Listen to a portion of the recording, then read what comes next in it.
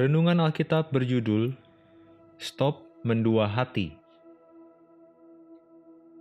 Yesaya 7 ayat 1 sampai 9. Dalam zaman Ahaz bin Yotam bin Uzia, Raja Yehuda, maka Rezin Raja Aram dengan Pekah bin Remalia, Raja Israel, maju ke Yerusalem untuk berperang melawan kota itu, namun mereka tidak dapat mengalahkannya.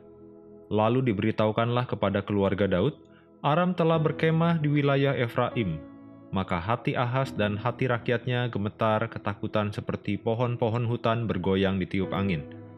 Berfirmanlah Tuhan kepada Yesaya, Baiklah engkau keluar menemui Ahas, engkau dan Syiar Yasyub, anakmu laki-laki, ke ujung saluran kolam atas ke jalan raya pada padang tukang penatu, dan katakanlah kepadanya, Teguhkanlah hatimu dan tinggallah tenang, Janganlah takut dan janganlah hatimu kecut, karena kedua puntung kayu api yang berasap ini, yaitu kepanasan amarah rezin dengan Aram dan anak Remalia. Oleh karena Aram dan Efraim dengan anak Remalia telah merancang yang jahat atasmu dengan berkata, Marilah kita maju menyerang Yehuda dan menakut-nakutinya serta merebutnya, kemudian mengangkat anak Tabeel menjadi raja di tengah-tengahnya, maka beginilah firman Tuhan Allah.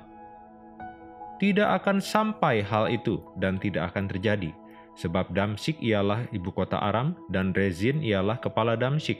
Dalam 65 tahun Efraim akan pecah, tidak menjadi bangsa lagi. Dan Samaria ialah ibu kota Efraim, dan anak Remalia ialah kepala Samaria. Jika kamu tidak percaya, sungguh kamu tidak teguh jaya. Sahabat Alkitab, Stop mendua hati. Ahas adalah raja yang mendua hati. Kita telah membaca kehidupannya dalam kitab Raja-Raja dan kitab Tawarikh. Setelah mendapat pertolongan Tuhan, segera Ahab beralih kepada Allah lain, lupa kepada Tuhan yang menolongnya. Namun, sekalipun demikian, Tuhan tetap berfirman, Teguhkanlah hatimu dan tinggallah tenang. Firman tersebut juga disampaikan untuk kita saat ini. Dalam banyak hal, kita juga perlu konsisten mengandalkan Tuhan Yesus saja, bukan hal-hal lain atau orang-orang lain yang kita andalkan. Jadi, yuk mari sama-sama kita stop mendua hati. Sebab orang yang mendua hati tidak akan tenang dalam hidupnya.